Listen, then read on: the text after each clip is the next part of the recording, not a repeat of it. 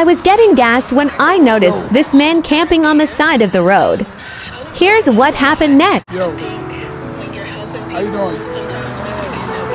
You eat hot dogs, man? Huh? You eat hot dogs? Yeah. I'll be right back. Thank you. Out of hot dogs. You Oh, all want, right. That's you all want right. you want McDonald's or you want Subway? It don't matter. Uh, whatever's easy. What, what, what's the occasion? It's not my birthday.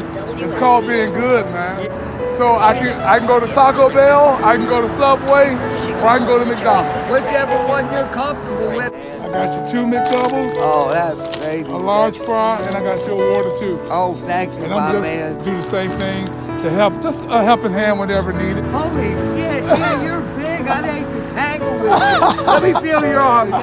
Take care. man. I really do. All right, brother.